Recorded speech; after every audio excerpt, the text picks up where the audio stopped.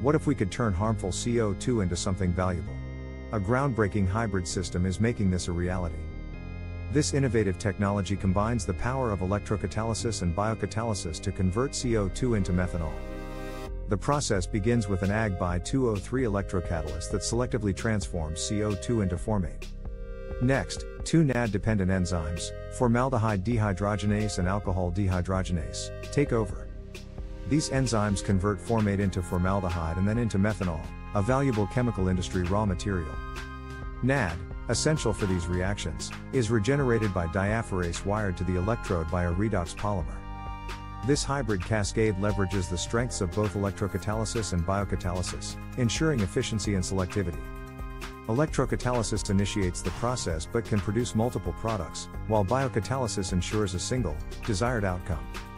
The international research team, led by Professor Schuhmann and Dr. Conzuelo, has proven the feasibility of this complex process. This breakthrough provides a new perspective on tackling climate change, turning CO2 into a valuable resource.